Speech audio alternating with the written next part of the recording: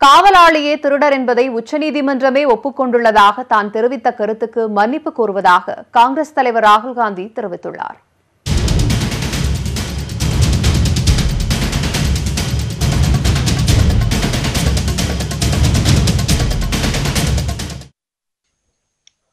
Rafale மறுசீராய்வு மனுக்களை உச்சநீதிமன்றம் விசாரணைக்கு ஏற்றுக்கொண்டது குறித்து கருத்து தெரிவித்த காங்கிரஸ் தலைவர் ராகுல் காந்தி காவலாளியே திருடர் என்பதை உச்சநீதிமன்றம் ஒப்புக்கொண்டுள்ளதாக கூறினார். இதை எதிர்த்து பாரதிய ஜனதா எம்பி மீனாட்சி லேகி உச்சநீதிமன்றத்தில் நீதிமன்ற அவமதிப்பு வழக்கு தொடுத்தார். இந்த வழக்கில் பிரமாண பத்திரம் தாக்கல் செய்த ராகுல் காந்தி தனது கருத்து தவறாக புரிந்து கொள்ளப்பட்டதாகவும் அதற்காக வருத்தம் தெரிவிப்பதாகவும் கூறினார். இந்த வழக்கு தலைமை நீதிபதி ரஞ்சன் கோகாய் அமர்வு முன்பாக இன்று விசாரணைக்கு வந்தது. அப்போது மீனாட்சி லேகி சார்பில் ஆஜரான மூத்த வழக்கறிஞர் முகுல் ரோஹத்கி ராகுல் காந்தி தனது இருபத்தி இரண்டு பக்க பிரமாண பத்திரத்தில் எந்த இடத்திலும் மன்னிப்பு கோரவில்லை என்றும் தனது கருத்தை நியாயப்படுத்தவே ராகுல் காந்தி முயன்றிருப்பதாகவும் குற்றம் சாட்டினார். அப்போது நாங்கள் எப்போது காவலாலேயே திருடர் என கூறினோம் என்று தலைமை நீதிபதி ரஞ்சன் கோகாய் ராகுல் காந்தி தரப்பு வழக்கறிஞர் அபிஷேக் மனு சிங்வியை நோக்கி கேள்வி எழுப்பினார். அனைவரும் தவறு செய்பவர்கள்தான் என்றும் ஒருமுறை தவறு செய்தால் அதை ஒப்புக்கொள்ள வேண்டுமென்றும் நீதிபதி எஸ் கே கவுல் தெரிவித்தார். இதையடுத்து ராகுல் காந்தியின் கருத்திற்கு தான் மன்னிப்பு கோருவதாக ராகுல் தரப்பு வழக்கறிஞர் அபிஷேக் மனு சிங்வி கூறினார். அப்போது உங்கள் பிரமாண பத்திரத்தில் எந்த இடத்தில் இது உள்ளது என தலைமை நீதிபதி கேள்வி எழுப்பினார்.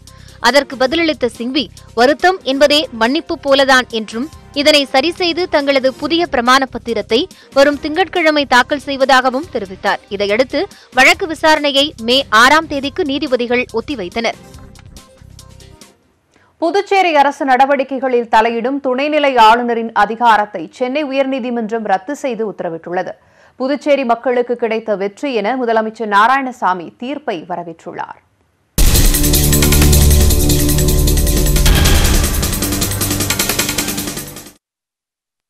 புதுச்சேரி முதலமைச்சர் நாராயணசாமி துணைநிலை ஆளுநர் கிரண்பேடி இடையே தொடர்ந்து அதிகார மோதல் இருந்து வரும் நிலையில் கடந்த இரண்டாயிரத்து பதினேழாம் ஆண்டு ஜனவரி மாதம் புதுச்சேரி யூனியன் பிரதேச அதிகாரத்தில் துணைநிலை ஆளுநர் தலையிடலாம் என மத்திய அரசின் உள்துறை அமைச்சகம் அறிவிப்பு வெளியிட்டது.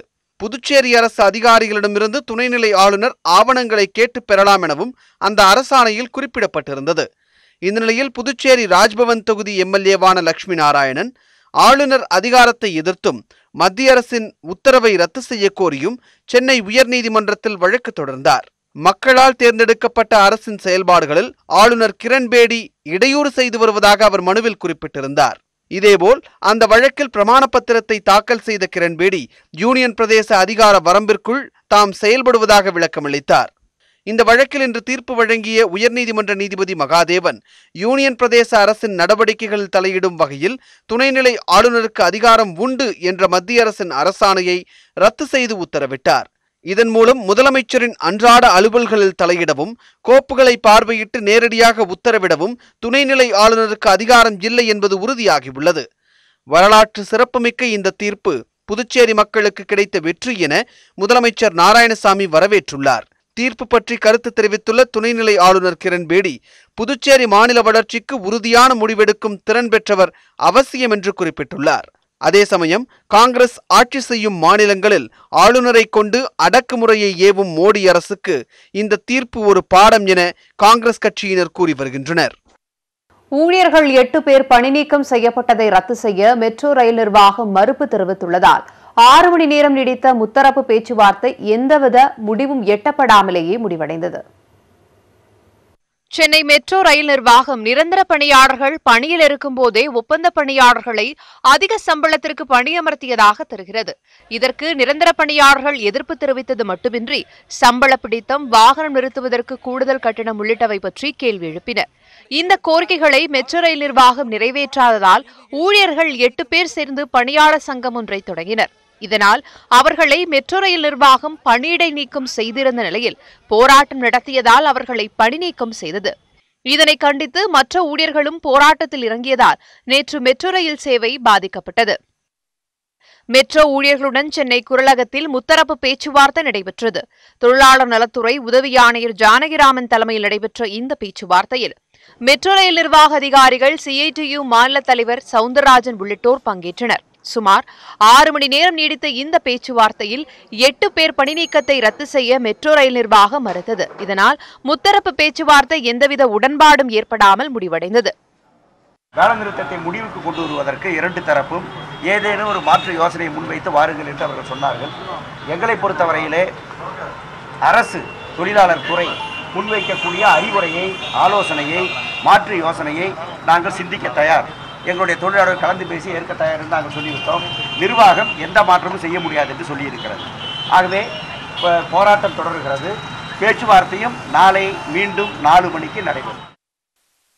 நாளை நடைபெறும் பேச்சுவார்த்தையிலும் உடன்பாடு ஏற்படாவிட்டால் தங்களது போராட்டம் தொடரும் எனவும் அவர் தெரிவித்தார். அது மட்டுமின்றி முப்பத்தி ஆறு மெட்ரோ ரயில்கள் இயக்கப்பட்டு வந்த நிலையில் போராட்டம் காரணமாக தற்போது வெறும் ஆறு ரயில்கள் மட்டுமே இயக்கப்பட்டு வருவதாகவும் அவர் கூறினார். அந்த ஆறு ரயில்களும் முறையான பயிற்சி இல்லாதவர்களை கொண்டு மெட்ரோ ரயில் நிர்வாகம் இயக்கி வருவதாக சவுந்தரராஜன் குற்றம் சாட்டினார். அதே சமயம் தொழில்நுட்ப கோளாறு சரி செய்யப்பட்டு வழக்கம்போல் ரயில்கள் இயக்கப்படுவதாக மெட்ரோ ரயில் நிர்வாகம் சார்பில் தெரிவிக்கப்பட்டுள்ளது. இதனிடையே மெட்ரோ ரயில் ஊழியர்களை போராட்டக் களத்திற்கு தள்ளியிருப்பது கவலை அளிப்பதாக திமுக தலைவர் ஸ்டாலின் கூறியுள்ளார். இது தொடர்பாக தமது டுவிட்டர் பக்கத்தில் பதிவிட்டுள்ள அவர் பொதுமக்களுக்கு இடையூறு ஏற்படாமல் ஊழியர்களின் நியாயமான கோரிக்கைகளுக்கு சுமூக தீர்வு காண வேண்டும் என வலியுறுத்தியுள்ளார். அரவக்குறிச்சி திருப்பரங்குன்றம் உள்ளிட்ட நான்கு தொகுதி இடைத்தேர்தலில் போட்டியிடுவோரின் வேட்புமனுக்கள் மீதான பரிசீலனை நிறைவடைந்தது. திருப்பரங்குன்றத்தில் அதிமுக திமுகவினரிடையே கடுமையான வாக்குவாதம் ஏற்பட்டதால் பதற்றம் நிலவியது. அரவக்குறிச்சி திருப்பரங்குன்றம் ஓட்டப்பிடாரம் மற்றும் சூலூர் சட்டமன்ற தொகுதிகளுக்கான இடைத்தேர்தல் வரும் பத்தொன்பதாம் தேதி நடைபெறுகிறது. இந்த தொகுதிகளில் போட்டியிடுவோரின் வேட்புமனுக்கள் மீதான பரிசீலனை இன்று நடைபெற்றது. முன்னதாக திமுக வேட்பாளர் டாக்டர் சரவணன் வேட்புமனு பரிசீலனைக்கு வந்தபோது மனுவில் இருவேறு மாறுபட்ட தகவல்கள் உள்ளதாக சுயேட்சை வேட்பாளர் ராஜன் எதிர்ப்பு தெரிவித்தார். இதனால் அரை மணி நேரம் பரிசீலனை தாமதமானது. தொடர்ந்து அதிமுக வேட்பாளர் முனியாண்டி மனு பரிசீலனைக்கு வந்தபோது அவருக்கு இரண்டு இடங்களில் வாக்கு இருப்பதாக கூறி எதிர்ப்பு கிளம்பியது. திமுக அமமுகவினர் அதற்கான ஆதாரங்களை காண்பித்து வாக்குவாதம் செய்தனர். இருதரப்புக்கும் இடையே கடும் வாக்குவாதம் ஏற்பட்டதால் அங்கு பதற்றமான சூழல் நிலவியது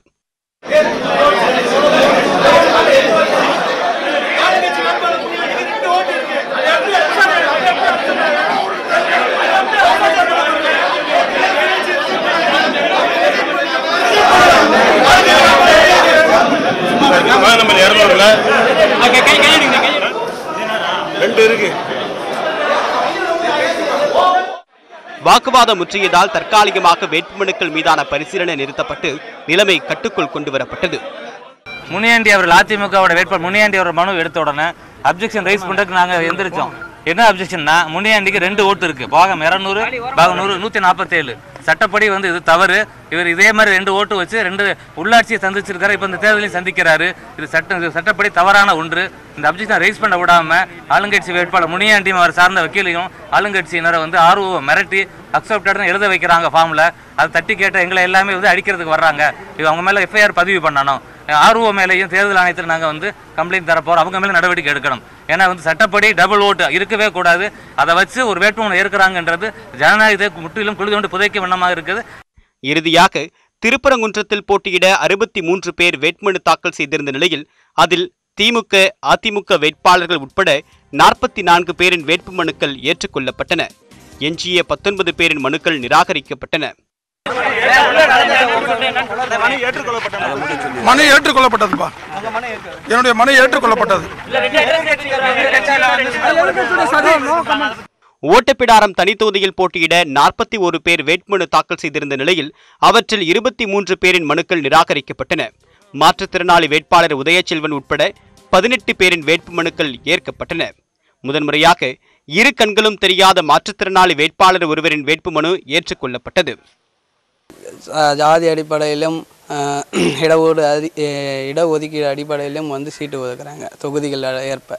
எங்களுக்கு மாற்றுத்திறனாளிக்கும் சில தொகுதிகளில் நிற்கலாம்னு சொல்லி எங்களுக்கு எங்களுக்கு நாங்கள் தொகுதியை வந்து கேட்குறோம் இந்த தொகுதியில் மாற்றுத்திறனாளிகள் நிற்கலாம் அப்படின்றதுக்கு எங்களுக்கு வந்து இந்தந்த தொகுதியை அறிவிக்கணும்னு சொல்லி நாங்கள் இதை கேட்குறோம் இதை ஒரு பரிசீலனையில் கோரிக்கையாக நாங்கள் வைக்கிறோம். அரவக்குறிச்சியில் தொன்னூற்றி ஒரு வேட்புமனுக்களில் அறுபத்தி எட்டு மனுக்கள் ஏற்றுக்கொள்ளப்பட்டு மீதமுள்ள இருபத்தி மூன்று வேட்புமனுக்கள் நிராகரிக்கப்பட்டன. இதேபோல சூலூர் தொகுதியிலும் அதிமுக திமுக உள்ளிட்ட முக்கிய கட்சிகளின் வேட்புமனுக்கள் ஏற்கப்பட்டன. இதனிடையே தலைமை செயலகத்தில் செய்தியாளர்களை சந்தித்த தமிழக தலைமை தேர்தல் அதிகாரி சத்யபிரதா சாகு நான்கு தொகுதி வாக்குப்பதிவின் போது ஐம்பது சதவீத வாக்குச்சாவடிகள் காணொலி காட்சி மூலமாக கண்காணிக்கப்படும் என்று கூறினார். நாளை மறுநாள் தேர்தல் நடத்தும் அதிகாரிகளுடன் காணொலி காட்சி மூலமாக ஆலோசனை நடத்தவுள்ளதாகவும் சத்யபிரதா சாஹூ தெரிவித்தார். ஓட்டப்பிடாரம் சட்டமன்ற தொகுதியில் போட்டியிடும் திமுக வேட்பாளரை ஆதரித்து அந்த கட்சியின் தலைவர் மு ஸ்டாலின் இன்றே பிரச்சாரத்தை தொடங்கினார். ஓட்டப்பிடாரம் தொகுதி திமுக வேட்பாளர் சண்முகையாவை ஆதரித்து நாளை முதல் ஸ்டாலின் பிரச்சாரம் செய்ய உள்ளதாக அறிவிக்கப்பட்டது. ஆனால் இன்றே அங்கு சென்று முக்கிய நிர்வாகிகளுடன் ஆலோசனை நடத்திய ஸ்டாலின் தெற்கு சிலுக்கம்பட்டி கிராமத்தில் பிரச்சாரத்தையும் தொடங்கினார். தொடர்ந்து கீழ்த்தட்டப்பாறை கிராமத்தில் வீதி வீதியாக நடந்தே சென்ற அவர் அங்குள்ள திண்ணையில் அமர்ந்து மூதாட்டிகளிடம் குறைகளை கேட்டறிந்து வாக்கு சேகரித்தார்.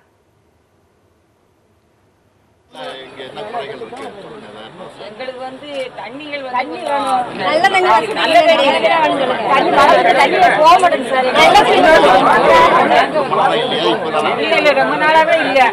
இப்ப கொஞ்சம் இந்த உப்பு தண்ணி தான் கொஞ்சம் பரவாயில்லாம வருது. நல்ல தண்ணி கிடையாது. ஆமா. புதுக்கோட்டையில இருந்து வருஷத்துக்கு போர் போட்டா நல்ல தண்ணி இல்லைன்ட்டாங்க. புதுக்கோட்டையில இருந்து அங்க வருது. அப்படி வீட்டுகள்ல வந்து கான் வந்து அவங்க வீட்டுகள தெருவுல வந்து கான் கட்டி ரொம்ப இது பண்ணுறாங்க மாடுகள் வந்தது. தொடர்ந்து மேலத்தட்டப்பாறை கிராமத்திலும் ஸ்டாலின் வாக்கு சேகரித்தார். அவருடன் தூத்துக்குடி மக்களவை வேட்பாளர் கனிமொழி சட்டமன்ற உறுப்பினர்கள் அனிதா ராதாகிருஷ்ணன் முன்னாள் அமைச்சர் கே. என். நேரு உள்ளிட்டோரும் உதயசூரியன் சின்னத்திற்கு வாக்கு சேகரித்தனர். இலங்கையில் தொடர் குண்டுவெடிப்பு தாக்குதலுக்கு பிறகு தேவாலயங்களில் வரும் ஐந்தாம் தேதி பிரார்த்தனை நடத்தப்படும் என்று கொழும்பு ஆர்ச் பிஷப் தெரிவித்துள்ளார். நிலைமை சீரடைந்து வருவதால் சமூக வலைதளங்களுக்கு விதிக்கப்பட்ட தடையை நீக்கி அதிபர் சிறிசேனா உத்தரவிட்டுள்ளார். இலங்கையில் ஈஸ்டர் நாளன்று தேவாலயங்கள் மற்றும் நட்சத்திர விடுதிகளை குறிவைத்து நடத்தப்பட்ட குண்டுவெடிப்பு தாக்குதலில் இருநூற்று ஐம்பத்தி மூன்று பேர் உயிரிழந்தனர். இது தொடர்பாக நாடு முழுவதும் நூற்று ஐம்பதற்கும் மேற்பட்டோரை பாதுகாப்பு படையினர் கைது செய்து விசாரணை நடத்தி வருகின்றனர்.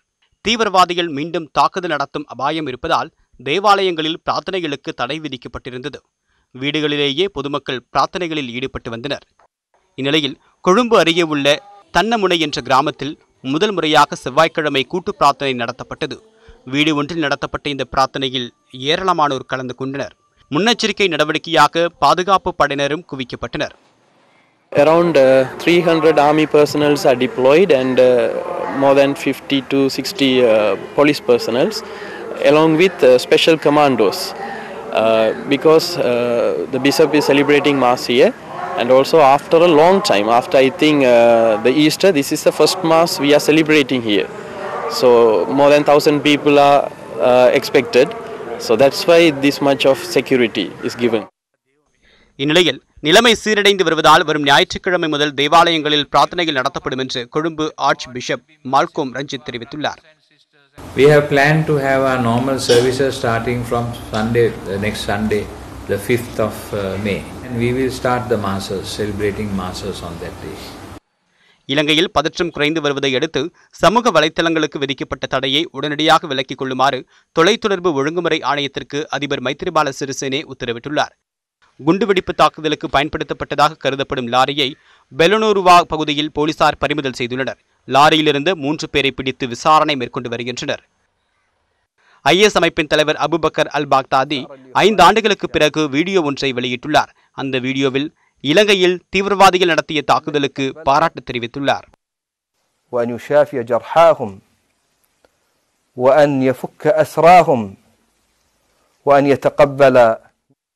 இலங்கை குண்டுவெடிப்பு தாக்குதலில் உயிரிழந்த பயங்கரவாதி சஹ்ரன் அசீமுடன் தமிழகம் கேரளாவை சேர்ந்த பதினான்கு பேர் செல்போன் மூலமாக தொடர்பில் இருந்ததாக தேசிய புலனாய்வு முகமை கண்டறிந்துள்ளது.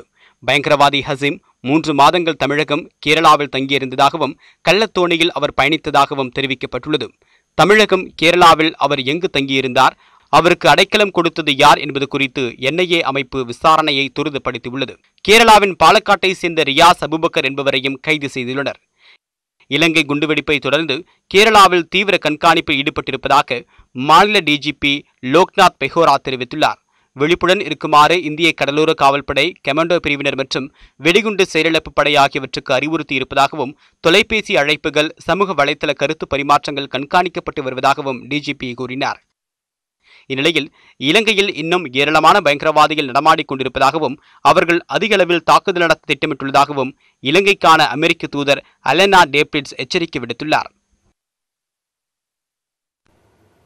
அதிமுக கொடி நிறத்தையும் மறைந்த முதலமைச்சர் ஜெயலலிதா புகைப்படத்தையும் அமமுகவினர் பயன்படுத்த தடை விதிக்க கோரி தேர்தல் ஆணையத்தில் அமைச்சர் சி வி சண்முகம் புகார் அளித்துள்ளார். டெல்லியில் இன்று தேர்தல் ஆணையத்தில் அமைச்சர் சி வி சண்முகம் முன்னாள் அமைச்சர் எம்பி மனோஜ் பாண்டியன் ஆகியோர் புகார் மனு ஒன்றை அளித்தனர். பின்னர் செய்தியாளர்களை சந்தித்த சி வி சண்முகம் ஜெயலலிதாவின் புகைப்படம் மற்றும் அதிமுக கொடியின் நிறம் கொண்ட கரை வேட்டியை அமமுக தொடர்ந்து பயன்படுத்தி வருவதாக குற்றம் சாட்டினார்.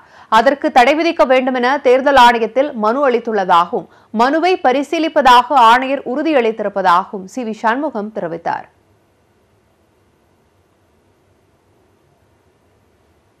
புதிய கட்சியை தொடங்குவதாக இன்றைக்கு தேர்தல் ஆணையத்திலே பதிவு செய்யப்பட்டிருக்கிற பதிவு செய்வதற்காக கொடுத்திருக்கிறார்கள்.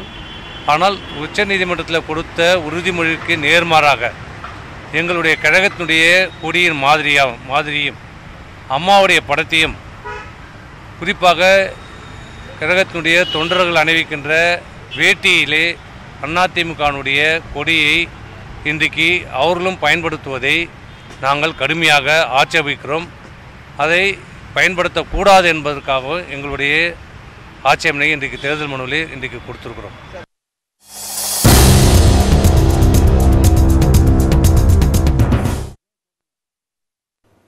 அதிதீவிர புயலாக வலுப்பெற்றிருக்கும் போனி புயல் வரும் மூன்றாம் தேதி ஒடிசாவில் கரையை கடக்க வாய்ப்புள்ளதாக சென்னை வானிலை ஆய்வு மையம் தெரிவித்துள்ளது. புயல் முன்னெச்சரிக்கை பணிகளை மேற்கொள்ள தமிழகம் உட்பட நான்கு மாநிலங்களுக்கு மத்திய அரசு பேரிடர் நிதி ஒதுக்கியுள்ளது. வங்கக்கடலில் நிலை கொண்டுள்ள போனி புயல் தற்போது அதிதீவிர புயலாக வலுப்பெற்றுள்ளது. இவை வடமேற்கு திசையில் நகர்ந்து ஒடிசாவில் கரையை கடக்க வாய்ப்பிருப்பதாக சென்னை வானிலை ஆய்வு மைய இயக்குநர் பாலச்சந்திரன் தெரிவித்தார். போனி புயல் இன்று அதிகாலை அதிதீவிர புயலாக வலுப்பெற்று தற்பொழுது தென்மேற்கு வங்கக்கடல் பகுதியில் சென்னையிலிருந்து சுமார் ஐநூற்று எழுபத்தைந்து கிலோமீட்டர் தொலைவில் நிலை கொண்டுள்ளது. இது தொடர்ந்து வலுப்பெற்று வடமேற்கு திசையில் நகர்ந்து நாளை மாலை வரை நகர்ந்து அதன் பின்னர் வடக்கு மற்றும் வடகிழக்கு திசையில் நகர்ந்து ஒடிசா கடற்கரையை நோக்கி செல்லக்கூடும். ஒடிசா கடற்கரை கடப்பதற்காக எதிர்பார்ப்பு இருக்கிறது. தற்பொழுது மூன்றாம் தேதி மூன்றாம் தேதி. குமரி கடல் மன்னர் வளைகுடா மற்றும் வட தமிழக கடலோர மாவட்டங்களில் மணிக்கு முப்பது முதல் நாற்பது கிலோமீட்டர் வேகத்தில் காற்று வீசக்கூடும் என்றும் சில சமயங்களில் ஐம்பது கிலோமீட்டர் வேகத்திலும் காற்று வீசும் என்றும் பாலச்சந்திரன் கூறினார். இதனால் தென்மேற்கு வங்கக்கடல் மற்றும் மத்திய வங்கக்கடல் பகுதி கொந்தளிப்புடன் காணப்படும் என்பதால் நாளை வரை அந்த பகுதிக்கு மீனவர்கள் செல்ல வேண்டாம் என அறிவுறுத்தினார். வட தமிழகத்தில் ஒரு சில இடங்களில் லேசானது அல்லது மிதமானது மழை பெய்ய வாய்ப்புள்ளதாகவும் பாலச்சந்திரன் குறிப்பிட்டார். இதனிடையே போனி புயல் முன்னெச்சரிக்கை பணிகளை மேற்கொள்ள தமிழகம் உள்ளிட்ட நான்கு மாநில பேரிடர் மீட்புக் குழுவுக்கு மத்திய அரசு நிதி ஒதுக்கியுள்ளது. அதன்படி தமிழகத்துக்கு முன்னூற்று ஒன்பது கோடியே முப்பத்தி ஏழு லட்சத்து ஐம்பதாயிரம் ரூபாயும் ஆந்திராவுக்கு இருநூறு கோடியே இருபத்தி ஐந்து லட்சம் ரூபாயும் ஒடிசாவுக்கு முன்னூற்று நாற்பது கோடியே எண்பத்தி ஏழு லட்சத்து ஐம்பதாயிரம் ரூபாயும் மேற்கு வங்கத்துக்கு இருநூற்று முப்பத்தி ஐந்து கோடியே ஐம்பது லட்சம் ரூபாயும் ஒதுக்கீடு செய்யப்பட்டுள்ளது. தேசிய பேரிடர் மேலாண்மை குழுவின் பரிந்துரையின் பேரில் நிதி ஒதுக்கீடு செய்து மத்திய உள்துறை அமைச்சகம் இந்த நடவடிக்கையை எடுத்துள்ளது. தமிழக டெல்டா பகுதிகளை தாக்கிய கஜா புயலுக்கே இன்னும் முழு நிவாரண உதவிகள் கிடைக்காத நிலையில் போனி புயலுக்கு முன்கூட்டியே உதவித்தொகையை விடுவித்திருப்பது ஆச்சரியம் அளிப்பதாக தமிழக விவசாயிகள் கருத்து தெரிவித்துள்ளனர்.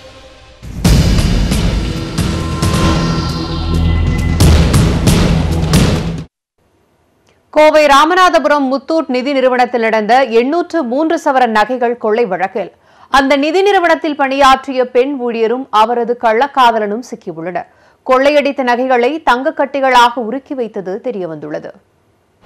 கோவை ராமநாதபுரம் பகுதியில் இயங்கி வருகிறது முத்தூட் மினி ஃபைனான்ஸ் நிதி நிறுவனம். இங்கு வாடிக்கையாளர்கள் பலர் தங்கள் நகைகளை அடகு வைத்துள்ளனர். கடந்த இருபத்தி ஏழாம் தேதி பிற்பகல் மூன்று மணியளவில் முகமுடி அணிந்த நபர் ஒருவர் நிறுவனத்திற்குள் புகுந்து அங்கிருந்த பெண் ஊழியர்கள் ரேணுகா தேவி மற்றும் திவ்யா ஆகியோரை தாக்கிவிட்டு அங்கிருந்த பெட்டகத்தை திறந்து அதிலிருந்த எண்ணூற்று மூன்று சவரன் நகைகள் ஒரு லட்சத்து முப்பத்தி நான்காயிரம் ரூபாய் ஆகியவற்றை கொள்ளையடித்து தப்பிச் சென்றார். கொள்ளையடிக்கப்பட்ட நகைகளின் மதிப்பு இரண்டு கோடியே இருபத்தி ஏழு லட்சம் ரூபாய் என போலீசார் மதிப்பிட்டுள்ளனர். நிதி நிறுவன மேலாளர் செல்வராணி புகாரின் பேரில் போலீசார் விசாரணையை தொடங்கினர். தாக்கப்பட்ட இரண்டு பெண் ஊழியர்களும் விசாரணையில் முன்னுக்கு பின் முரணான தகவல்களை கூறியுள்ளனர். இரண்டே இரண்டு பெண் ஊழியர்கள் பணியில் இருந்தது கொள்ளையனுக்கு தெரிந்திருக்க வேண்டும். அதேபோல் நிதி நிறுவனத்தில் காவலாளி இல்லை என்பதையும் கொள்ளையன் தெரிந்து வைத்திருக்க வேண்டும் என போலீசார் சந்தேகித்தனர். இவற்றின் அடிப்படையில் கொள்ளையன் ஏதாவது ஒரு வகையில் நிதி நிறுவனத்தோடு தொடர்புடையவராக இருக்க வேண்டும் என்றும் போலீசார் கருதினர். கொள்ளையடித்த பின்னர் ஆட்டோவில் ஏறி போத்தனூர் ரயில் நிலையத்திற்கு சென்று அங்கிருந்து கொள்ளையன் தப்பித்துள்ளார். அதனால் கொள்ளையன் கேரளாவிற்கு சென்றிருக்கலாம் என சந்தேகித்த போலீசார் பாலக்காட்டிற்கு விரைந்தனர். அதே நேரம் வேறு வழிகளிலும் போலீசார் தங்கள் விசாரணைகளை தீவிரப்படுத்தினர். முத்தூட் நிதி நிறுவனத்தில் வேலை செய்த இரண்டு பெண் ஊழியர்களின் செல்போன் உரையாடல்களையும் போலீசார் ஆய்வு செய்தனர். அவற்றில் ரேணுகாதேவியின் செல்போன் உரையாடல்கள் சந்தேகத்திற்கு இடமளிக்கும் வகையில் இருக்கவே விசாரணை தீவிரமானது. ஒரு குறிப்பிட்ட எண்ணுடன் ரேணுகாதேவியின் செல்போன் எண் அடிக்கடி தொடர்பில் இருந்தது தெரிய வந்தது. சம்பவம் நடப்பதற்கு முன்பும் நடந்த போதும் சம்பவம் நடந்த பின்னும் அந்த எண்ணுடன் ரேணுகாதேவி பேசியுள்ளார் என்பதும் தெரிய வந்தது. அதன் அடிப்படையில் செல்போன் சிக்னலை போலீசார் ஆய்வு செய்தபோது அது கோவை அனுமந்த் நகர் கெம்பட்டி காலனியில் காட்டியுள்ளது. போலீசார் அங்கு விரைந்து சென்று பார்த்தபோது தனது வீட்டில் சுரேஷ் இருந்துள்ளார். அவரை கைது செய்த போலீசார் வீட்டை சோதனையிட்ட போது தங்கக்கட்டிகள் சிக்கியுள்ளன. சுரேஷிடம் நடத்திய விசாரணையில் பல பகீர் தகவல்கள் அம்பலமாகின. சுரேஷின் தனிப்பட்ட வாழ்க்கையில் ரேணுகாதேவியின் தலையீடும் தெரிய வந்தது கெம்பட்டி காலனியைச் சேர்ந்த சுரேஷ் தனது மனைவியுடன் அங்கு வசித்து வந்துள்ளார். பங்குச்சந்தையில் ஈடுபட்டு வந்த அவர் நகைகள் அடகு வைப்பது தொடர்பாக ராமநாதபுரம் முத்தூட் நிதி நிறுவன கிளைக்கு வந்து சென்றுள்ளார். அப்போது அங்கு பணியாற்றி வந்த ரேணுகா தேவியுடன் அவருக்கு பழக்கம் ஏற்பட்டுள்ளது. நாளடைவில் அது கள்ளக்காதலாகவும் மாறியது. சுரேஷும் ரேணுகா தேவியும் விடுமுறை நாட்களில் வெளியில் சுற்றித் திரிந்துள்ளனர். பங்குச் சந்தையில் ஈடுபட்ட சுரேஷ் அதில் கடுமையாக நஷ்டமடைந்து மீள முடியாத கடன் சுமையில் சிக்கினார். அவரை கடன் நெருக்கடியிலிருந்து மீட்க தான் பணியாற்றும் முத்தூட் நிறுவனத்தில் கொள்ளையடிக்க ரேணுகாதேவி திட்டம் வகுத்து கொடுத்துள்ளார். அதன்படி முத்தூட் நிதி நிறுவனத்தில் புகுந்து நகைகளை கொள்ளையடித்துள்ளார் சுரேஷ். கொள்ளையடித்த நகைகளை உடனடியாக தங்கக் கட்டிகளாக மாற்றியுள்ளார். மேலும் கொள்ளையடித்த ரொக்க பணத்தில் முப்பத்து நான்காயிரம் ரூபாயை செலவிட்டுள்ளார் சுரேஷ்.